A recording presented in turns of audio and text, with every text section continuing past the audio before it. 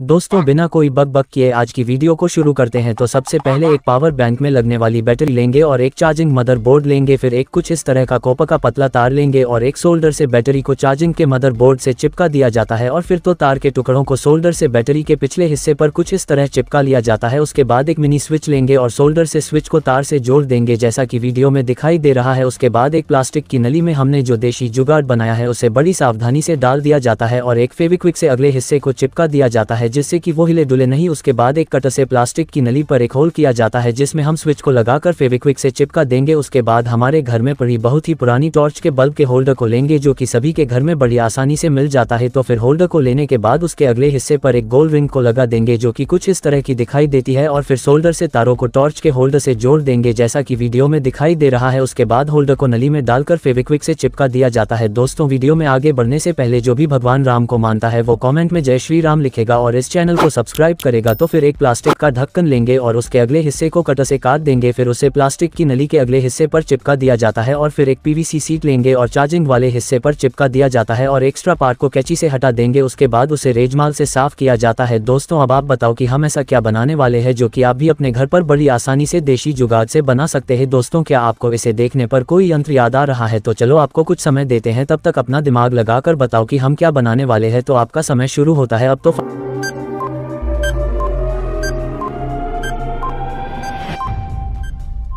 फटाफट कमेंट में बताओ और नहीं समझ में आया तो कोई बात नहीं, मैं बता देता हूँ कि दोस्तों, अरे यार, थे मोबाइल आला की दुकान पर इसी चीज़ ने देखी, कई जी की मदद वे था को फ़ोन तैयार करे, अरे जी की मदद बार आपा वीडियो में चार्जिंग के मदर बोर्ड के तार को गर्म करके चिपका दिया था ने, हेमजे, अरे भाया, आपा आज देशी जुगाड़ से तार ने चिपका बाको सोल्डर बनाने वाला, हा, वो भी दुनिया को सब छोटो जी ने आपा कटे भी लजा सका और तो और भी ने आपका चार्जर भी कर सका, बाज़ार में जो सोल्डर मिले वो लाइट से चाले और भी ने बिना बिजली के आपा चाल भी ने सका तो फिर कॉमेंट में बताओ की मुँह कसी भाषा बोल रही हो गई थे भी राजस्थान से हो तो वीडियो ने था का सभी दोस्तों और अपना सभी भाया ने शेयर ज़रूर कर दीजियो तो फिर कलर के बिना तो अपनी चीज़ थोड़ी भद्दी भद्दी लाग रही तो फिर आप का ऊपर सिल्वर कलर कर देवा तो अबे बढ़िया लाग रही तो फिर कलर करने के बाद कुछ इस साइज़ को सोल्डर को एक सॉकेट लेंगे फिर उसे होल्डर से जोड़ देंगे। दोस्तों, आप सॉकेट को खोल भी सकते हो। देशी जुगाड़ को सबसे बड़ा फ़ायदा यही होता है। तो भाया अब थाने देशी जुगाड़ से बना सोल्डर को चेक करा। देवा काल ने थे आने के सको की कलेक्शन बाय सोनू तो अपनी फिर की ले ली तो थली आखियो देख लो। एक छोटी मोटर का तार जोड़कर दिखा दिया तो राजस्थान वाला वीडियो को लाइक करके चैनल को सब्सक्राइब करो और बाकी जगह वाला भी कर दिया। कोई पिया थोड़ी लाग रिया तो फिर मिलते हैं एशिया की गजब गजब धमाकेदार वीडियो में। तब तक के लिए खम्मा घनी राम राम सा। जय श्री राम। राधे राधे जय खाटू श्याम। हारे का सहारा। खाटू श्याम हमारा।